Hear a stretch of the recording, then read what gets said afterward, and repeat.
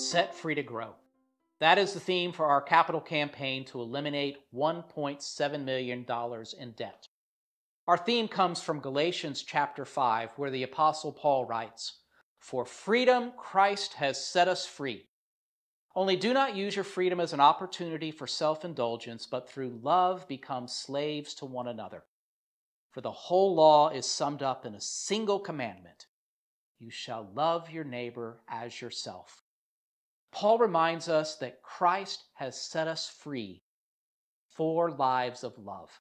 That is what this capital campaign is about becoming set free from the burden of debt and set free to love, to grow and share the love of God and our love with the community.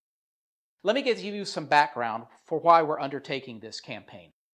Several years ago, Oak Hill United Methodist Church went through a season of rapid growth. In order to accommodate that growth, we went through a few seasons of construction. In 2001, we expanded the size of our sanctuary and built the adult education building. Then we built again in 2012, constructing our children's building.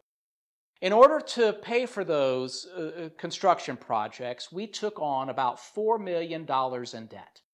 Those were faithful decisions made at the time in order to accommodate growth and allow Oak Hill United Methodist Church to fulfill its mission. Our current debt is a little above $1.7 million, and our annual mortgage payment is $250,000 a year. For many years, Oak Hill was able to pay its mortgage through regular annual giving.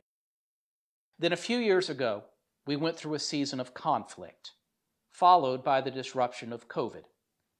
And our attendance decreased, and annual giving was reduced from between 250 and $300,000 a year. Our debt became a burden, and the burden of debt is impeding our ability to fund ministry. The good news is that we are growing again. More and more people are finding a home at Oak Hill United Methodist Church. There is new and renewed energy. And annual giving is up over each of the last two years. Now is the time to eliminate our debt and become set free.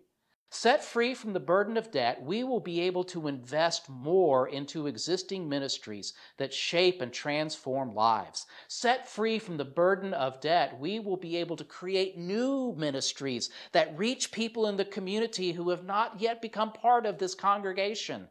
Set free from the burden of debt, we will be able to maintain our current clergy team to teach, preach, provide pastoral care, and lead. Now is the time to eliminate our debt. So that is why we are undertaking this three year campaign to eliminate our $1.7 million in debt. We're going to invite you to make a prayerful commitment that you are able to pay off over a period of up to three years. This is above and beyond what you currently give to support the ministry of Oak Hill United Methodist Church we ask that you not shift your giving from the general fund to the capital campaign. That would impede our ability to fund existing important ministries. The Set Free to Grow campaign is what Jesus would refer to as going the second mile, making a sacrificial gift above and beyond what we currently do. If you cannot give an additional dime, don't. But if you can, your generosity will set Oak Hill free to grow. In a few weeks, we'll give you some creative giving strategies. But before I ask you to do something financial, I ask you to do something spiritual. I invite you to join with me in praying a simple prayer every day God, what do you want to do through me? Ask that of God and listen for what God puts on your heart.